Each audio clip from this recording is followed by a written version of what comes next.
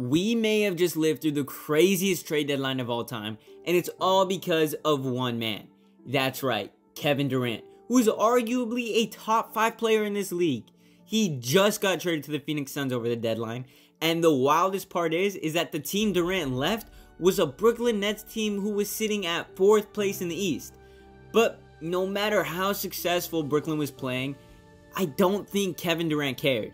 It seemed like, on the outside looking in, Durant was just done with the organization, over it, which meant that Brooklyn in the front office was forced to move their superstar, even though they probably would have gotten a better offer for Kevin if they had waited until the offseason, where more teams could have had time to build their potential offers. Unfortunately for the Nets front office, that's not the reality we live in, and instead, that is settled for the package of Mikal Bridges, who is an all defensive first teamer that can cover nearly all five positions on the floor. And it's not only his defensive prowess that astonishes teams, but also his ability to shoot exceptionally well from the corner and constantly score in transition. And all those reasons may have been why the Memphis Grizzlies supposedly offered four first round picks to the Brooklyn Nets for Mikal. Okay, okay, let's get back to the Durant trade, where the Suns also gave up two other players in Cam Johnson and Jae Crowder. Now, the thing with Crowder is that he was never going to Brooklyn. Nah, he had his eyes set on a contender, which is precisely why the Nets and Suns decided to include the Pacers and Bucks in the trade, so that Crowder had somewhere to go.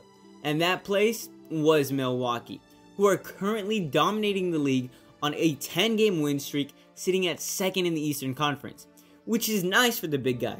But Cam Johnson, on the other hand, wasn't so lucky.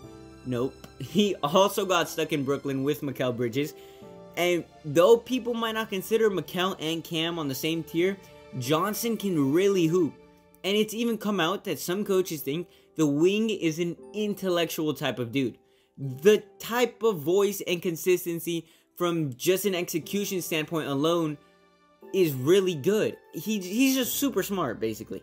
So when you really go in depth and take a look into the players that Brooklyn's receiving for Durant, you can almost convince yourself that it's a good deal. But I bet the four unprotected first round picks and the pick swap helped Brooklyn's front office sleep at night. Now, I'm gonna cut Joe Tsai and Sean Marks some slack on this deal in particular because the Kyrie deal was so atrocious that any trade made after that couldn't be worse. Or at least it would be harder to top to say the least. And if you want my entire thoughts on the Kyrie trade to the Mavs, then just check out this video in the top right where I really get into the thick of things. Alright, enough about what Brooklyn got in the trade. I think it's time to talk about what this deal means for the Suns and how their ceiling has completely skyrocketed now that one of the best forwards in the NBA is in Phoenix. Now, I think it's fair to assume that when the Suns roster is fully healthy, their starting lineup will be consistent of Chris Paul, Devin Booker, Kevin Durant, DeAndre Ayton, and Torrey Craig, who, who he can hold his own in the Big Four. And if you saw the thumbnail, which I'm sure you did, then you know that I consider this Phoenix Suns team as a new super team in the NBA. And the reason for this is because you could argue that the Suns, if healthy, could be a top three team in the West this year, before the Durant trade. And proof of this is how the Suns have been able to win 55 plus games in the last two seasons, which with nearly identical rosters every year, or at least the same core of guys being there.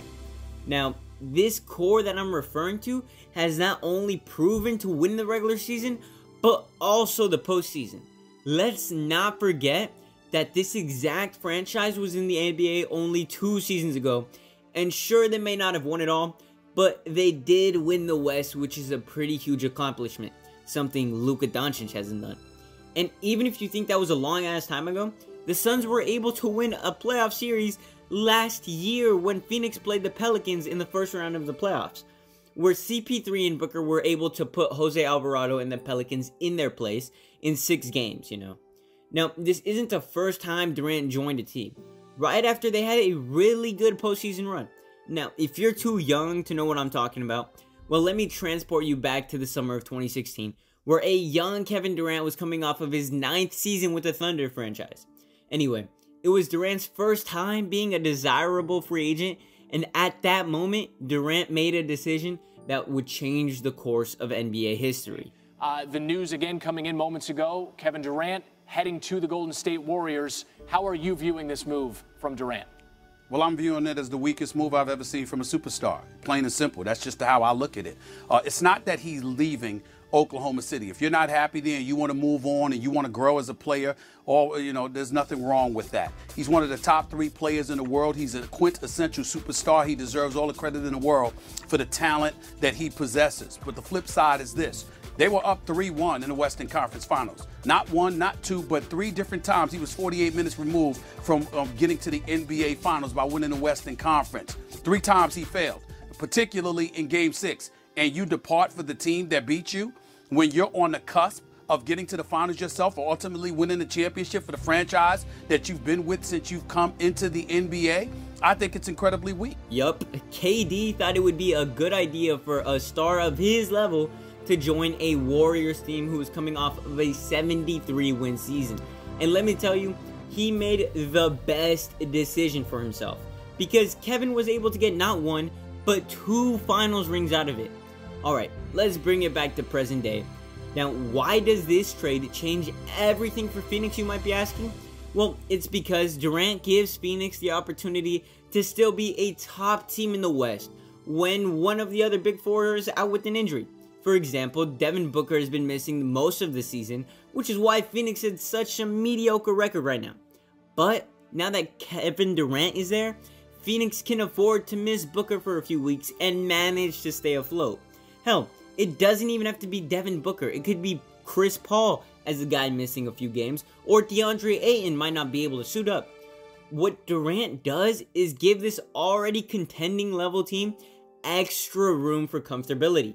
Now, the only downside people might see with this Phoenix team after the deal is that the Suns might suffer from a lack of depth since they are losing three really good role players. And yes, I'm counting Crowder because when he does feel like playing for the Suns, he can be pretty good. Plus, Durant is 34 years old and coming off of an Achilles tear, let's not forget. Not everybody is LeBron James and can just consistently avoid father time. Now, nobody will ever really know how many quality years any player has left in them when they sign or trade for a guy. And on a personal note, I haven't been a KD fan since the moment he made the decision. But now that this is a new era of Kevin that has dawned upon all of us, I feel like I can say I want to give Kevin Durant another chance and and open to being a fan of the guy. Now, to say the trade surprised me is a huge understatement because, of course, you hear rumors that KD was displeased with the organization, and those rumors really picked up after Kyrie was moved. But never in a million years did I think that the Brooklyn Nets were going to have the balls to pull the trigger on a Durant trade in the middle of the season. And if you thought otherwise, let me know in the comments below. Did you see this Durant trade coming? I mean, there might have been signs that I missed. But anyway, that's it for the video all I wanted to say was said, and if you really like my content and think about the clicking this video of Kyrie, or maybe you're a football guy, so if so, just click this one, you know? Alright, that's it, deuces, bye.